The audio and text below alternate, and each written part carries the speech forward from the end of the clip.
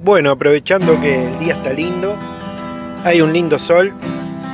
Después de tantos días feos y húmedos, vamos a aprovechar este a dar una vueltita en las cubas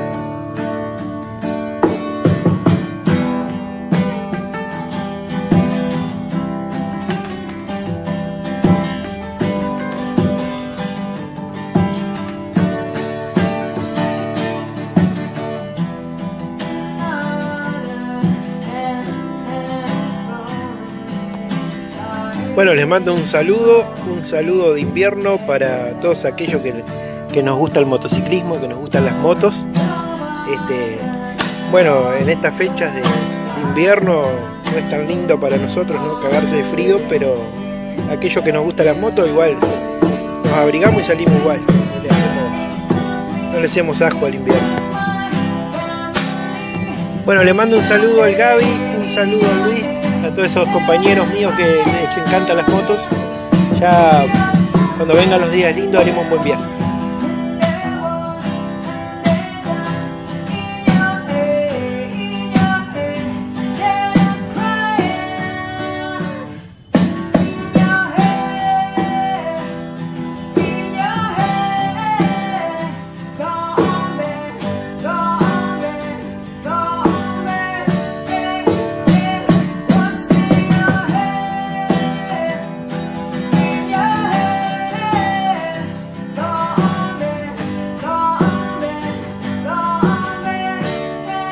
Esto es mi Cuba, gente.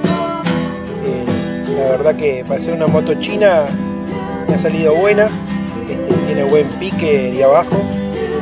Lo único que le hice fue cambiarle el piñón que es de 15. Le puse un diente más, 16, para que la moto vaya un poco más, menos, digamos un poco menos enroscada vueltas. La velocidad de ella es más o menos de unos 110 km por hora tampoco es que camine 120 y 130 como muchos dicen, es un motor CG común y corriente, varillero. Este, el andar es bastante suave porque es un motor con, balanceador, tiene freno a disco atrás como ustedes lo están viendo, este, muy buen freno, muy buena suspensión, la verdad que muy buena. Le puse este, lamparitas LED atrás, ustedes las están viendo, ahí está el plato, plato de 50 dientes. La cubierta de atrás es una Pirelli. La de adelante también es Pirelli.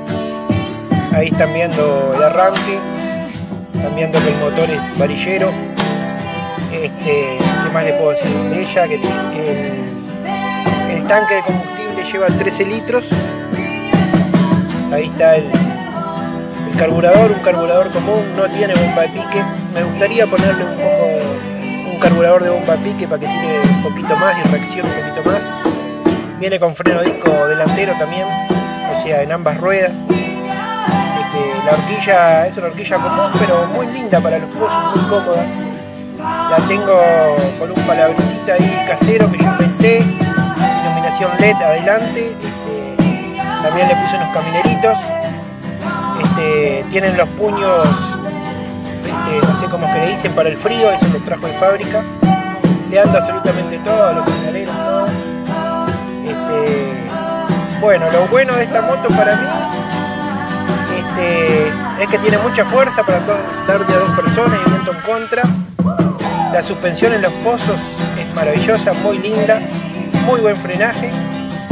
Este, la verdad que para hacer una moto china ha salido buena y me gusta. Los puntos en contra que le encuentro, eh, digamos que tal vez sea la economía, no es muy económica la moto. Este, si la tratás muy, muy con el acelerador muy a fondo, da 22, 23 kilómetros, no llega a 25. Ahora si andás despacio, la moto se arrima a los 30. Estamos hablando de despacio 80 kilómetros le puse un baúlcito este, como para poner el casco y llevar alguna campera, alguna ropa. Este, es muy útil para cuando salgo. Este, bueno, respecto a la iluminación, con el farolito de ella que lleva adelante, no es muy bueno.